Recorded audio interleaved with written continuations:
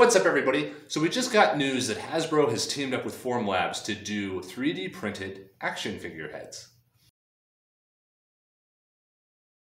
So this is really big news. Uh, Hasbro is a very significant company and Formlabs is a big company inside of 3D printing space. For them to work on this level of consumer grade product is a big step. Both as a demonstration of 3D printing at scale, hopefully, but also of it to be affordable and accessible to the normal person.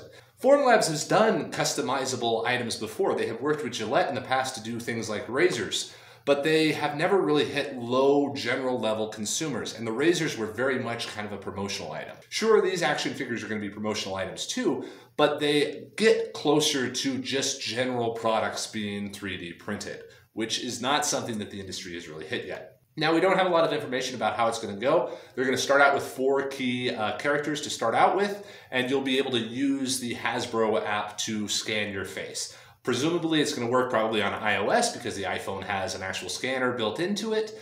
Uh, and they'll have some sort of implementation from there. It will be interesting to see how detailed the actual models come out and if Hasbro keeps it up. We know that the action figures are going to cost about 60 bucks when they come out this fall.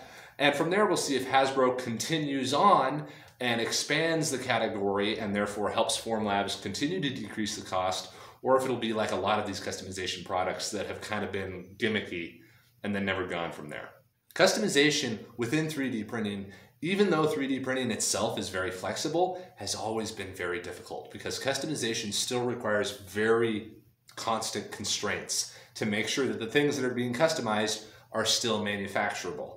It's easy to stick a name on the side of something or a serial number or a barcode, but to completely change the shape of something to absorb a different type of geometry has always been tough. These action figures are an interesting case because they have kind of a datum feature where the head interfaces with the model, which is the same across all of them, and then they just change the facial features and the hair to look like the person that's doing it.